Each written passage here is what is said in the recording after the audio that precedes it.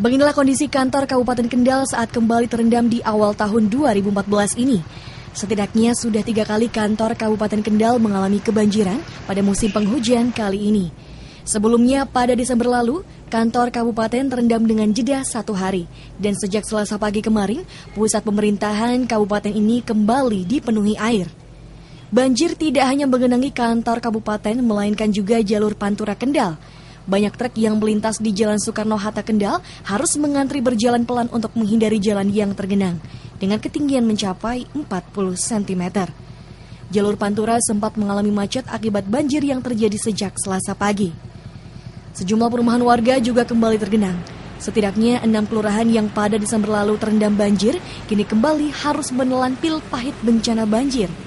Staf Dinas Pengairan Kabupaten Kendal yang kebetulan sedang berada di lokasi banjir mengungkapkan, banjir ini akibat tanggul di Sungai Kendal yang belum diperbaiki, sehingga air meluap ke jalan.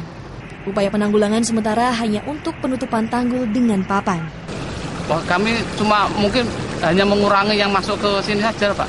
Oh iya. Tidak ada upaya mungkin dialihkan airnya dialihkan sungai mana gitu pak?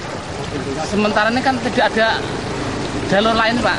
Hanya ke kali kendali kali kendali kan kumpulan dari kali bedo sama kali eh, penut pak. Saya hanya eh, teman-teman dengan yang lain itu. Mungkin langkah ke depan adanya normalisasi mungkin mungkin.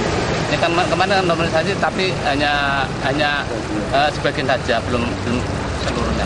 Zainal menambahkan, untuk saat ini tidak ada upaya lain yang dapat dilakukan Dinas Pengairan jika debit Sungai Kendal sudah melebihi batas. Ketinggian air sendiri bervariasi di sejumlah titik.